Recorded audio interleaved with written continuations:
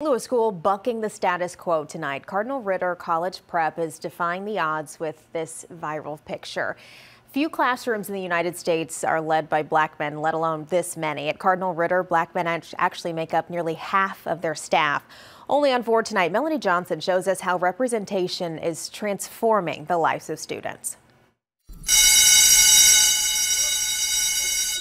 Marvin Burks never had a black man as his teacher until his freshman year of high school. That was the most important point of my life to turn it around, just to be, be more around, around male figures. Four years later, it's these men at Cardinal Ritter, he says, changed his life. Seeing them able to transition and, you know, improvise and to give back to their community and people that look their color, that's amazing to me and it's inspiring to let me know like I can be in their, in their shoes one day. It's just one of many stories motivating the school's black male educators. She gave us her baby, we nurtured him, we got him together, we brought out the greatness that was already inside of him.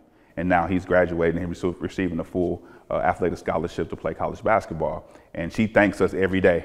A picture taken on the first day of school, now shared thousands of times. I teach black studies Randy Reed has been making a difference in the classroom for 32 years. Two or three kids believe in leadership over the streets, that could make a huge difference. Despite African American men making up 2% of teachers in the U.S., I never had a male or a black male teacher, so when it came here, like, it just really meant a lot for me. At Cardinal Ritter, it's the opposite 40% of the staff are black men. There's an honor and respect for it here that just isn't in other places. We can talk to them differently, especially as a young woman. You don't have that many male figures in your life. Like it's a lot of things that somebody would need a father figure for growing up, and they serve as their. I was in different school systems, and once I got to this school system, um, Cardinal Ritter, I had a better understanding of my purpose. Not only do I love these students, but I love this mission. A mission changing lives. They just really motivate me to like